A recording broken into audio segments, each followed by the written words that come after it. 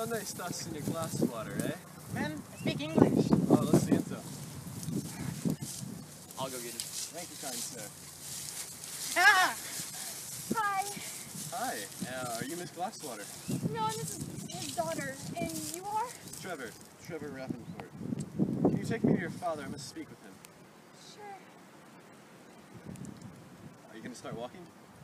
Oh, yeah, he's in the house. This way. I'm getting that company one way or another.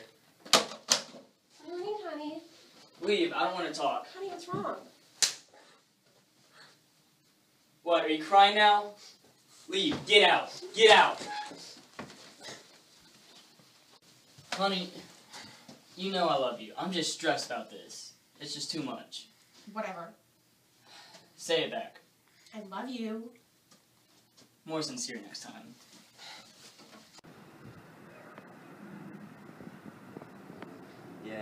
Callie. I only knew her for eight weeks, but she was definitely the best girlfriend and almost fiance that I've ever had. Wait.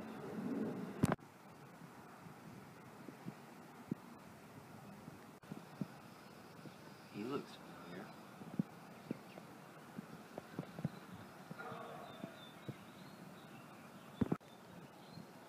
Sorry, sorry guys. Would anybody else like to say something? Yes, Myrtle. My mommy was the best mommy ever. She always helped me with anything. And I love her very much. And I'm going to miss her every single day. Señor Glasswater, ¿quieres decir? Ahora, por sabido que había matado a Cali. Me le compró una bebida y 100 dólares. Daddy wishes to say that he wished he'd known who'd killed mommy. And he'd buy him a drink and give him a hundred dollars.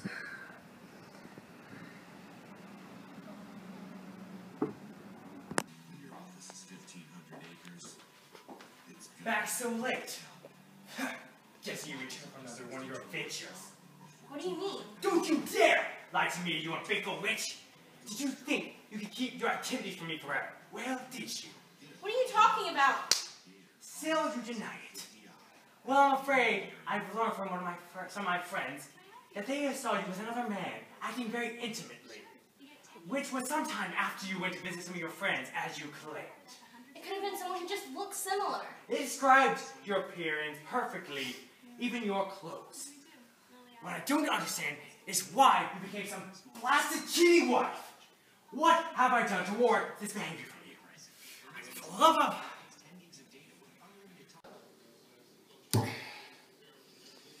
Well, there's more than one way you can separate from another. well, you know what they say at the wedding. Till death do we part.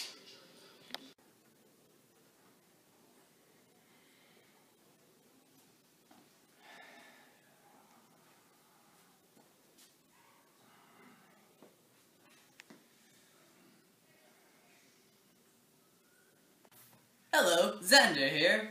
We sell coffins. No matter your size, we have the perfect coffin for you. I'm in need of your services. Wait, I thought I said you were a professional assassin. Indeed, I am. Then how come you said you sell coffins? It's a profitable business. I'm hired to kill someone, and then I sell a coffin to them. Clever. But never mind that. I have a job for you to make a particular person disappear permanently. Whoever you need gone, I'll make sure it happens. So, who is this unfortunate victim? My wife. Oh, having marital problems, are we? You could say that. Now, I want to make sure there's no connection to me. I will give you whatever information you require as long as the job is done. Very well, it will be done. Now let's talk about payments. I don't care how much it costs, as long as it's done right. $2,000 up front before I accept the job.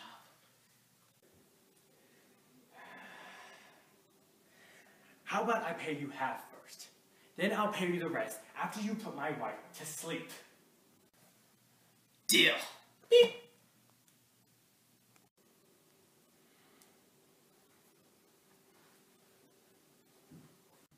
I relive it every night. Relive what? My wife being murdered. And how does this make you feel? Just dandy. Well, I was just on blackpeoplemeet.com like every day. I was looking for a nice lady and I found Callie. We started getting pretty serious. We chatted for two hours a day. So, I mean, I didn't even care about her age. I really loved her. And so I decided I wanted to propose to her. So I woke up one day ready to propose. Then I was like, not today. So I went back to sleep. And I woke up and I found out I lost the ring. Can you believe it? So I had to get a job to pay off the ring. And two weeks later, I finally got the ring. Then I got in my car, put it in drive, and then I drove off. go on. So as I got down on one knee, I opened the red velvet box. The ring shined like a diamond, because it was a diamond. And then a man came up behind her and stabbed her in the back. The knife was big, silver, and pointy. And when her life was over, I knew mine was too. I'm sorry for your loss, sir, but what are you feeling right now? I think I'm gonna pass out. Thank you. And the worst part is, I think I know who did it. I brought your paperwork, sweetheart. Thanks, dear. Yeah, all 25 copies. Just as you asked. This is three copies. I, I'm sorry. I must have picked the wrong one from the five room. I'm sorry. I'll get a different one. You never do anything right. Well, I, I was trying. I, I must have just grabbed the wrong No, one. no. I'm done with you trying. I, I'm sorry. No, I'm, I'm done with you trying. I'm done.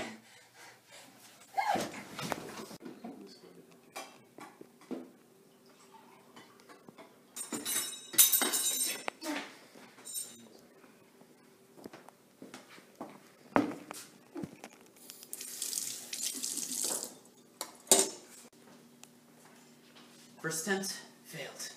I'm gonna have to up my game. She's not that bad looking. Too bad I'm hired to kill her.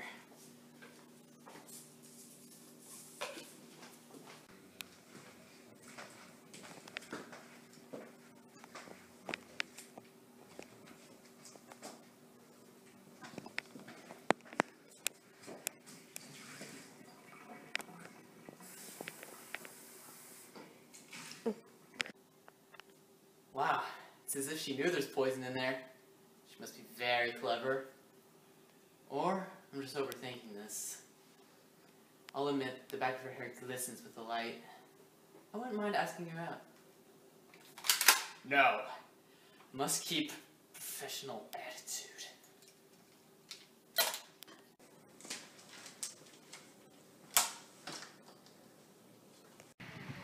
Okay, so Daddy likes his fields the perfect shade of olive. That's how you know it's healthy. And he says it looks most beau- beautiful underneath a blue sky. Kind of like your eyes. Thanks, I guess. Um, where do you think I'll be doing most of my work? Um, most likely the barn. Sweet, I love doing all sorts of work in the barn. Will you show me how to work the stuff? Uh, sure. So this is barn number five. Okay, good. Can you show me where the chickens are? I Yeah. need to get. I need to know about them a little more.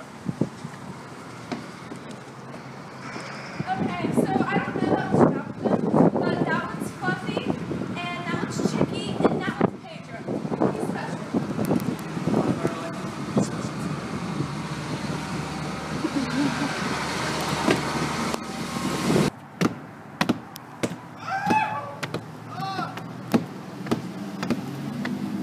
Man, the horses are making some funny noises.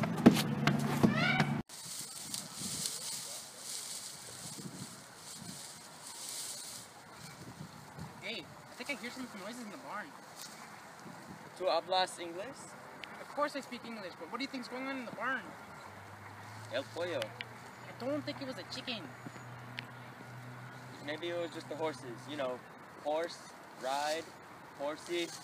I know what the horse is, but it sounds it sounds like alguien con sus manos arriba un caballo. God, let's go check it out before we tell Mr. Glasswater. Right, well, I'm gonna go get Mr. Glasswater.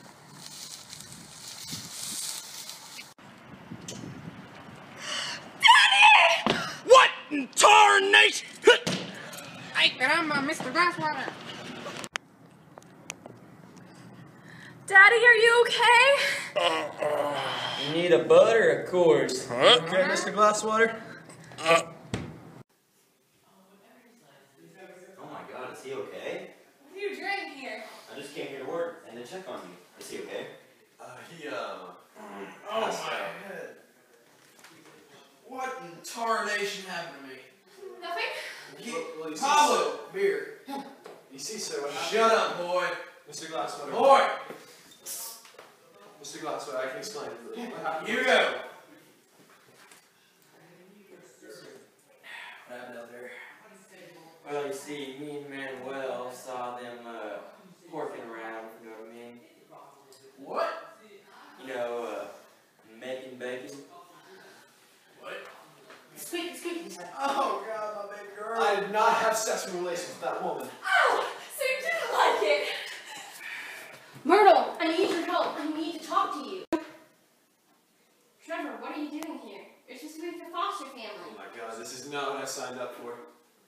What what in tarnation are you even doing here? I need help. My husband's trying to kill me. Why should I help you? I'm your mother. Oh, everybody get out.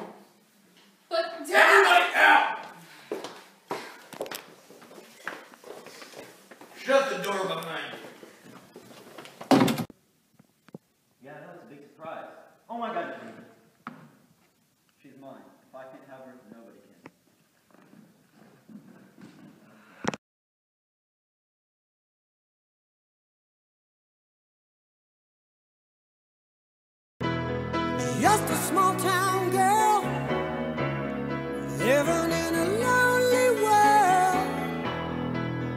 Took the midnight train going anywhere. Just a city boy, born and raised in South Detroit. He took the midnight